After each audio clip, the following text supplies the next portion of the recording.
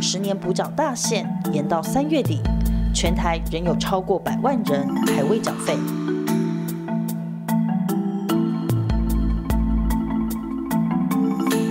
国民年金，你现在所针对的对象是没有工作的人，因为有工作的话，你就会纳入加入老号。那没有工作的人，他就是没有收入，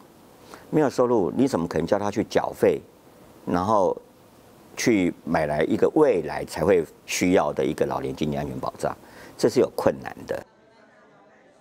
国民年金保险开办以来，缴费率节节败退，甚至二零一八年还跌到百分之四十三。这一年来，卫福部积极宣导。缴费率提升到百分之七十六，但原住民的缴费率情况却还是远低于全国平均值。已经快要将近十年了，那我们平均的这个收缴率大约是在百分之三十六。不缴国民年金，老后的经济保障首当其冲，但族人不缴保费，除了经济弱势，还存在着。其他原因。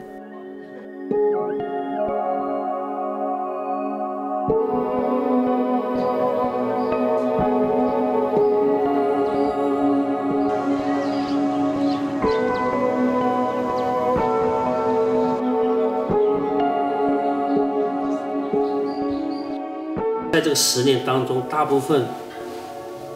都不了解国民年金是什么东西，是怎么样的情况下？会有国民年金，我们全部都不清楚的时候，我们会觉得说这个东西我们可以去选择不要缴。所以这个东西，杨先生曾经在公部门工作，负责鉴保业务，经常在第一线接触在地族人。因为过去欠缴鉴保费会被锁卡，但在经过多年的地方宣导以后，全台原民健保已经零锁卡，族人为了保障自身的医疗权益。只要看到健保缴费单，就会赶紧去缴纳。反观国民年金的宣导就明显不足。因为事实上语言会是一个很大的问题，因为你刚好你是原住民，然后也不见得懂得当地的语言，因为有不同的语言啊，所以这个是最大的问题。但是因为现在透过原住民委员会原来的这个体系，其实这个问题是可以解决。不然的话，他会觉得，哎，你是要来。来呃，对我这个是不是有欺骗啊，或什么的？他他第一个会会有这种担心呢。该如何提高原住民国民年金缴费率？二零一八年六月，卫福部与原民会合作办理了国民年金分区说明会，启动原住民社工员关怀访视，加强宣导国民年金保险的权益。那我们原民会这边做的就是说，我们有原家中心社工员嘛。我们也有救福员，那加起来应该也有将近五百人可以协助把这个政策让我们族人更能掌握，然后让他了解国民年金对他的权益的影响。但因为大家也了解原住民的原住民地区也部落跟部落或者是距离都很远，所以可能一天跑那么远的地方就是就一两个一两个老人。然后又下山或到哪里，又要花一两个小时才会到那个地方，所以其实是蛮蛮不容易的。倒是去年，去年他才来宣导，啊，所以很热闹、很热烈。因为不懂这个问题，就是说，国民年金好像在拉保险呐，好像就是这样。有的人拉保险，对我们原住民来讲，保险对我们原住民好像。不太容易，不太容易融入了。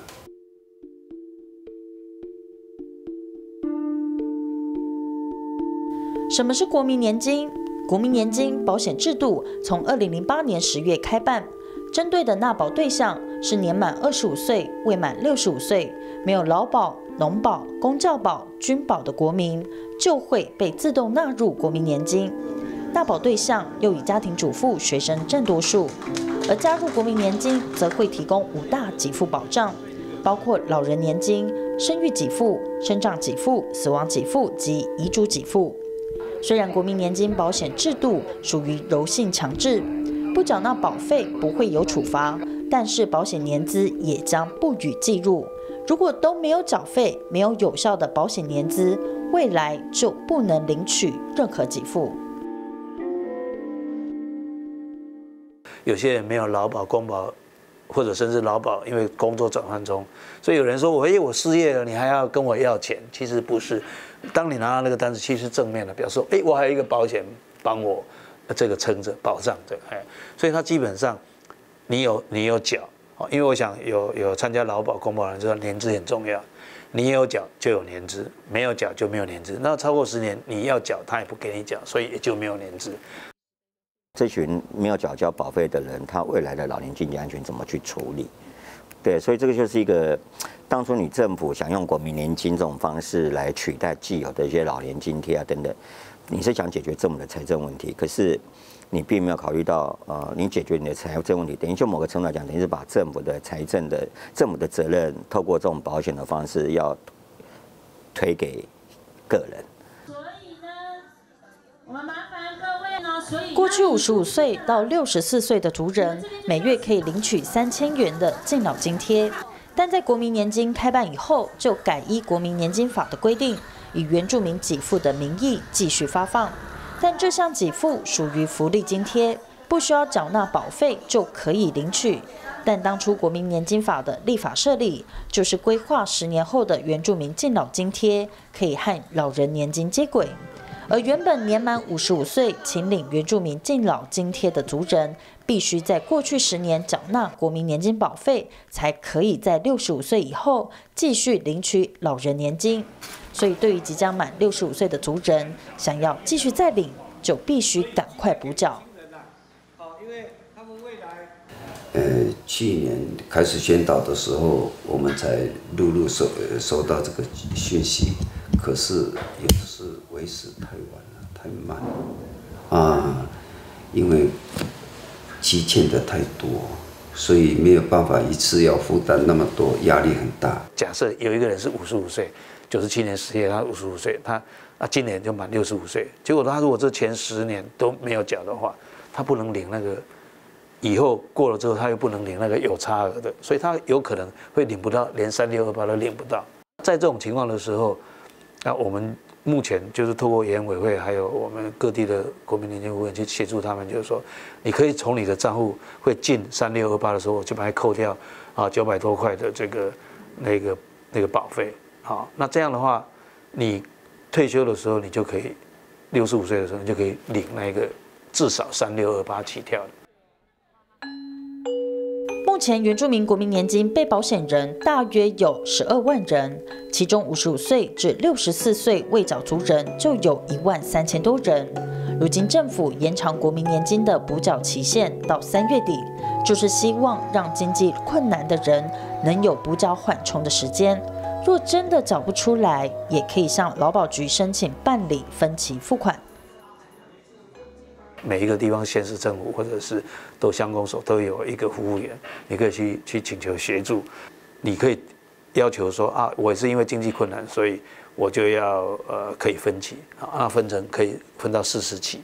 啊。那这样一拆开的话就可以啊，呃大概四十期大概一起在两三千块嘛啊，所以你你你领的会超过它。当然我们有限制前三期。哎，可能没办法，你可能要要要想办法去去处理一下，但是后面都 OK 的哈。但是我们这个国民年金服务员都蛮贴心的，他们有知道有哪些社会资源可以协助或怎么样。真正有困难的，基本上我们目前看到都可以收到协助这一部分。你让他分期，或者你让他晚缴，或者让他只缴第一期，根本没有办法解决问题，因为他根本就是没有办法缴完这个全程。如果是这样的话，应该要发挥这个所谓的社会保险保障最低层。这些呃族人的这样的一个精神，如果国民年金是一个社会网络安全网络哈，那基本上这个网网络你就要必须去了解到说，假设这一层是最大的一层，如果破掉之后，这个网络就垮了嘛，所以你这个国民年金有等于跟没有一样嘛。目前原住民的部分，国保低缴费率的县市分别有台东县、花莲县、屏东县、嘉义县及南投县，而原住民乡镇部分。则以苗栗县石潭乡、泰安乡及嘉义县阿里山乡、屏东泰武乡和南投仁爱乡的缴费率最低。我们过去的这一个调查，基本上大概就是这个数字，大概将近三成八哦，可能是因为他没有意愿缴，因为他不了解啊。那有三成八，其实也有可能就是因为经济有困难啊。那所以原因大概是这样。那这中间还有很多是失踪的哈。未缴的这个原因哈，其实主要有三点。第一点是我们族人不知道要缴，第二点是我就没有那个意愿要缴，那第三个理由是没有力没有力气再去缴这个钱，无力缴纳。这个问题其实还蛮在很多部落其实都有这样子的一个情况啦。对，那我是实际上也有去问过其他部落的人，他们对公民年金，然后国民年金你知道吗？国民年金是什么东西啊？就这样，不清楚，年轻人更年轻人都不知道，更何况是老人家，老老人家都已经超过了七十岁、八十，哦，有这个国民年金哦，这福利那么好哦，我还来得及吗？然后。如果说可以的话，你就说可以啊，你把钱这个费用你缴缴完多少，就多少钱啊？十五万哦，好，不用了，谢谢，就回去缴了，就就已经变得太慢宣了，变成我们变成是选择性了，选择性。那因为我们是选择性，这个不要缴了，所以人家都会觉得说我们是没有钱去缴这个费用。根据内政部统计，二零一六年原住民平均余命是七十一点九二岁。其中男性约为六十七岁，女性约为七十六岁，比起全台湾人民的平均余命八十岁，落后至少八到九岁。学者认为，这可能也是族人不愿意缴纳国民年金的原因之一。有这样的状况，其实我们问过很多的原因嘛。那除了呃族人就是认为就是我可能享受不到这样的权利，就按照现在的平均余命来看，然后甚至有人开玩笑说，可能到我这个你可以领这个六十五岁，可能活不到那个年纪啊。就是我们族人可能对保险的权益不是那么了解，所以他会觉得我都在缴钱，但是我还看不到哈，那所以他。他是没有信心说未来他可以有这个给付，好，所以这个可能都跟宣导、加强了解这个国民年金非常重要的一个点。他除了退休之后的这一个年金啊，就是每个月给的这个给付之外，其实他在你的被保险期间，你如果发发生发生生育的这种好事情，或者万一有意外的死亡或者是残障的话，他还是可以。呃，有一个这个一次付的这个给付啊，然后如果说啊，你在这个被保期间啊，这个身身亡的话，你的遗属如果符合条件，没有工作能力或者年纪或者配偶，他还是可以继续领遗属年金。山地原住民地区因为外来资讯进入较慢，加上族群文化性的差异。传统的部落仍保有互助分享的生活方式，未来若是可以加强宣导，没有意愿缴纳的情况，或许就会有改善空间。在观察原原住民的那个相关议题的时候，常常会把原住民跟弱势哦放在一起，对，这会有一个问题，就是原住民不等于弱势哦，因为不呃常常把原住民等于弱势的话，就会把原住民的问题社会化。那原住民问题其实它有它的族群的特殊性。对于没有工作的人来说，国民年金是最基础的保障。族人不缴的原因有很多，但归纳最大的因素有两种：一种是有能力但不愿意缴，另一种则是真的没有能力缴纳。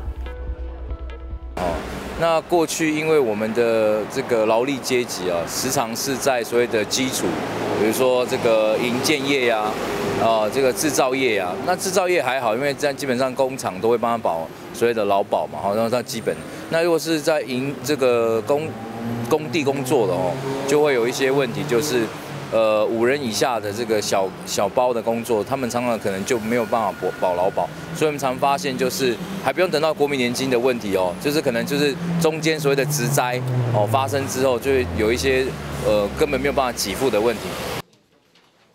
经济弱势、没有族群性，即使是在都市工作，一旦没有生计能力，同样也会面临缴不出保费的情形。那没有工作的人，他就是没有收入，没有收入，你怎么可能叫他去缴费，然后去买来一个未来才会需要的一个老年经济安全保障？这是有困难的。而且当初国民年金那时候，他政府说有大概有四百多万人是没有在劳保被纳进来的。那这里面大概有两大族，两大族群，一个是家庭主妇，一个是学生。那我们觉得学生本身他未来总是会迟早会加入劳保的，所以这部分是没有需要的。那家庭主妇这个部分，他等于就我们本来当初的建议是用把这个劳保的这个适用范围扩大，就比照全民健保，让这些家庭主妇可以像用呃配偶的身份。啊，或家属的身份加保证全民健保一样，可是现在政府都没有，政府就用一个独立的保险，然后让这一群没有工作收入，呃，或者是说我们讲，就等于是那一群经济相对弱势的人，你们彼此去互相保保险，那这东西本身制度上设计是，我认为是有问题的啦。我们的总统在致辞的时候，不要增加人民的负担，我主张国民年金保费立即下降一半。当年国民年金的诞生，其实也是为了因应高龄化社会的到来。最早在一九九四年，新竹县政府开启发放敬老津贴制度，之后台北市也跟进。但敬老津贴属于福利性质，人民不需要缴纳就可以领取。但在民主选举政治的推波助澜下，担心老人津贴金额会造成国家财政负担，所以才设计了今日的国民年金。